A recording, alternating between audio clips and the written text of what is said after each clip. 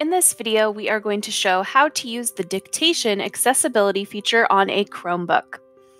So you'll need to click on the clock in the lower right corner, access accessibility, and then select dictation.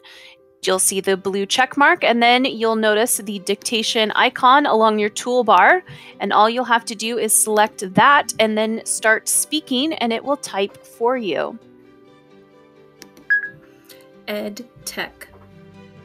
So you'll see it typed what I said for my first and last name.